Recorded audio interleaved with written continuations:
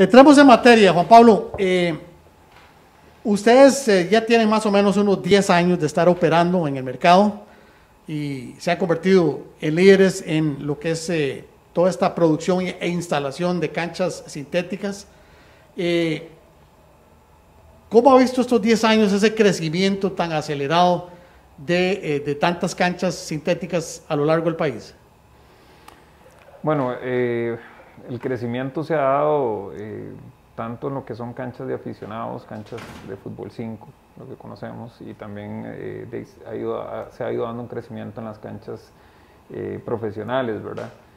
si hay diferencias entre los sistemas de césped sintético para, para clubes profesionales, tienen ciertos requerimientos, existe también la norma, la norma que, que, que, establece FIFA, que, ahora es un requerimiento indispensable para los clubes. Entonces sí ha habido un crecimiento importante, cada vez eh, los requerimientos son más exigentes, ¿verdad? FIFA cada vez es más exigente con su norma y, bueno, eh, sí, ha habido, ha habido cierto crecimiento, también eh, se, ha, se, ha, quitado el mito de que las canchas sintéticas no son convenientes, no son la mejor opción, cuando realmente sí es una opción bastante interesante para muchos de los clubes que tenemos en nuestro país porque sí, sí, sí da muchos beneficios eh, eh, la superficie como tal. José. Sí, bueno, hablar de canchas, eh, tal y como lo conversábamos en un programa anterior, es un tema muy interesante y creo que ha habido un gran avance en la industria. definitivamente hablábamos de hace 20, 30 años para atrás, el fútbol de Costa Rica se estaba jugando en canchas de muy mala calidad, tanto naturales eh, y pues las sintéticas no, prácticamente no había. Y eh, hemos sido prueba de error, prueba de error, eh, cada día mejorando y evidentemente FIFA también dando requerimientos más especiales en la parte técnica para que nuestras canchas sean cada vez de mejor calidad.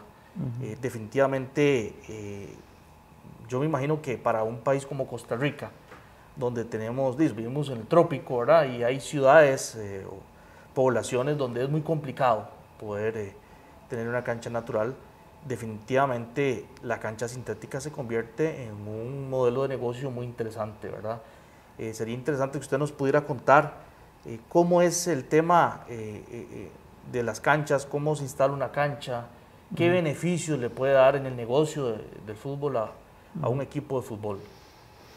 Bueno, una de las, de las ventajas principales de tener gramilla sintética, por ejemplo, para un club es la posibilidad de tener, de tener entrenando en, sus instalaciones prácticamente todas las ligas, ligas menores, liga femenina, liga, eh, el, primer equipo, eh, todos eh, entrenando en el mismo estadio en el que van a jugar Creo que esa es una ventaja muy importante para poder consolidar todo lo que son proyectos, de, el proyecto de, de, traer, eh, de generar ese talento eh, que, se requiere.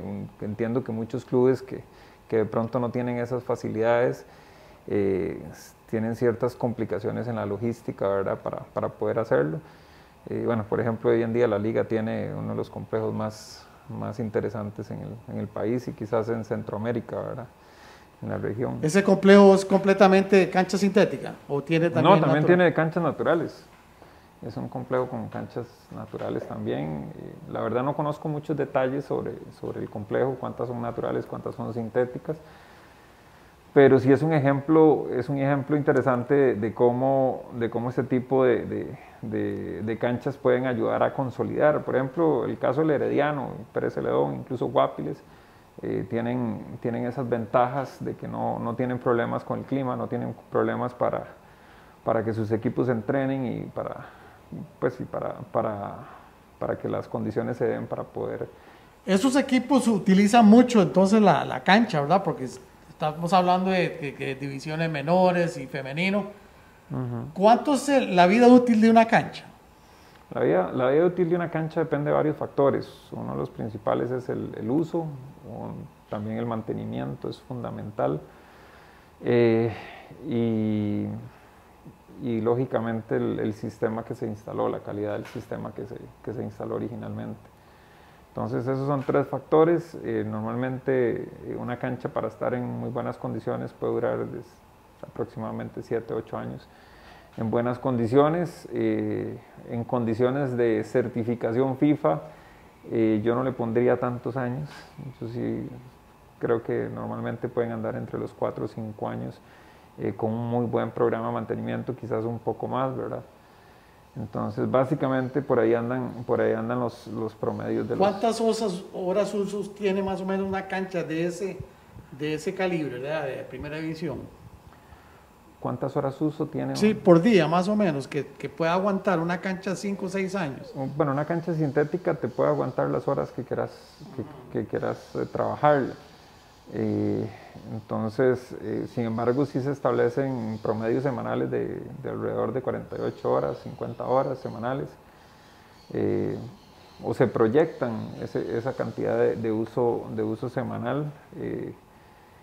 sin embargo, perfectamente pueden haber semanas donde se, donde se extienda el uso de la cancha, las horas uso, y puede haber semanas que, que, se reduzcan, ¿verdad? Entonces es muy, es muy, muy variable, depende mucho del, de, del uso, ¿verdad? Aquí de pronto creo que tenemos, eh, aquí sí agarramos las canchas y sí las trabajamos muy intensivamente, ¿verdad? Entonces también hay que tener consideraciones en cuanto al mantenimiento, tiene que ser también proporcionalmente intensivo.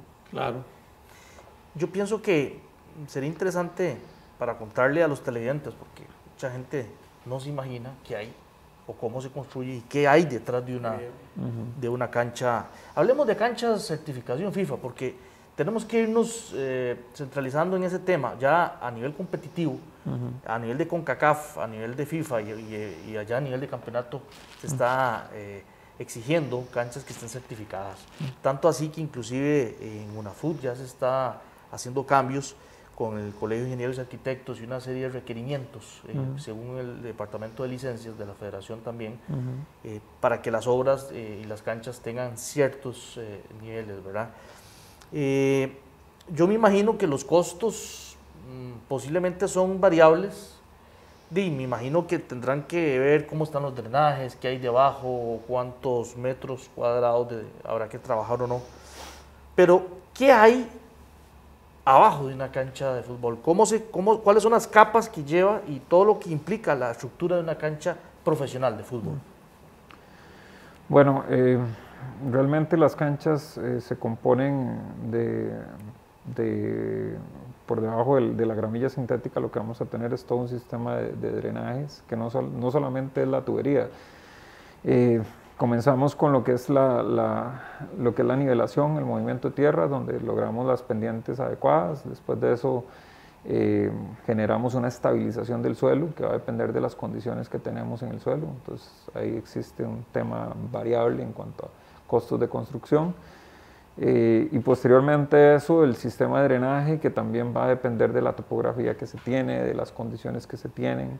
Entonces, eh, sí es, sí, no, no, no es como una, como una receta de cocina que se pueda repetir en esta cancha lo mismo que en esta lo mismo que en esta, porque para todas vamos a encontrar condiciones, condiciones diferentes, ¿verdad?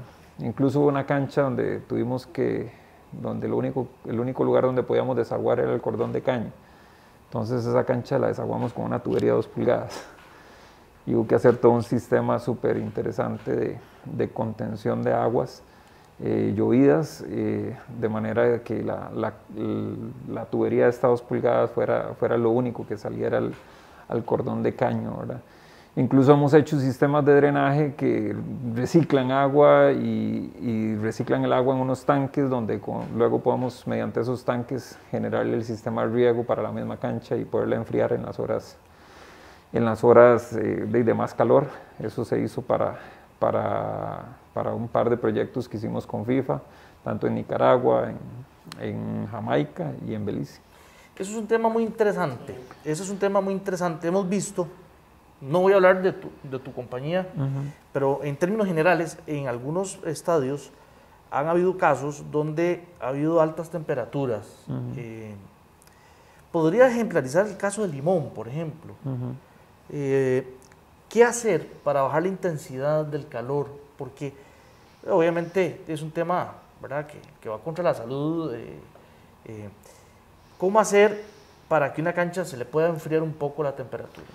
Bueno, yo, yo lo, que, lo que sí siempre he dicho es que de todos modos hay ciertas horas en las que no es saludable eh, desarrollar, el, desarrollar el juego, desarrollar el deporte, o sea, las de, de 11 a 2 de la tarde, creo que son horas de sol que, que más bien son contraproducentes y pueden generar temas de cáncer, entonces a esas mismas horas es que tenemos eh, la, la, superficie más caliente. Y no hay nada que hacer. Eh, de lo único, lo único es esto, que, que, que se ha desarrollado sistemas de riego eh, por aspersión que permiten bajarle la temperatura, bajarle la temperatura a la cancha. ¿Cuántos grados más o menos puede bajar? realmente, así como medidas no hemos tomado, más que todo lo que hemos lo que hemos, lo que hemos, eh, lo que hemos tenido cierta retroalimentación y experiencia por parte de los jugadores, que sí se han dicho que sí, considerablemente sí la, temperatura ha bajado y, y, que sí permite, permite un más confort, más, eh, una, condición más aceptable para poder, para poder jugar. Porque a veces uno siempre ha creído que el caucho, yo veía que algunas canchas ya tal vez no tan profesionales, eh, digamos más, más recreativas, y la gente generaba esa cantidad de caucho y entre, como, como hay una como idea de que entre más caucho le pongan es mejor. ¿Eso es cierto o realmente ahora hay otras eh, características de mantenimiento eh, o dependiendo de la superficie que hay por debajo de la, del, del, césped sintético? Bueno, eh, de hecho el caucho sí es necesario, pero es necesario en cierta, en cierta cantidad. El caucho se necesita para para de mantener las, las fibras eh, lo suficientemente rellenas y rígidas para que se mantengan. Sí, el caucho sí definitivamente es importante para mantener la vida y es parte del, mantenimiento esencial que hay que darle a la cancha. Eh, sin embargo, hoy en día con los sistemas de absorción de impacto, que, que, es, que son los sistemas como los que hemos instalado en Heredia, en Pérez Celedón, en Guapiles, estos sistemas vienen a a generar esa absorción de impactos que antes normalmente se manejaba solamente a puro, a puro caucho. Entonces ya son más independientes de la cantidad de caucho que tiene, que tiene en la cancha y, y se preserva por más tiempo esa, esas características apropiadas de la, de la, absorción de impactos que ayuda a reducir el tema de las lesiones en articulaciones.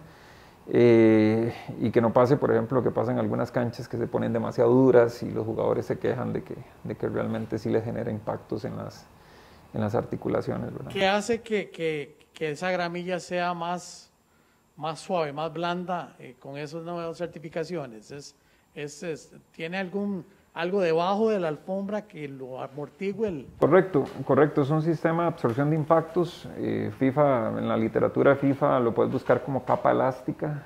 Capa eh, elástica. Capa. Capa elástica. La capa elástica que se coloca por debajo del césped sintético.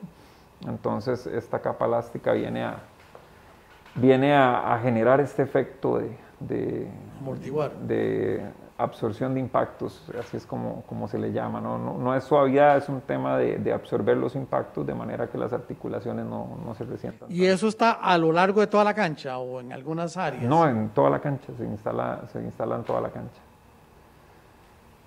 Muy bien, estamos conversando con Juan Pablo Vázquez, eh, él es el gerente de Stadium Source. Vamos a ir a nuestro primer eh, corte comercial y ya regresamos.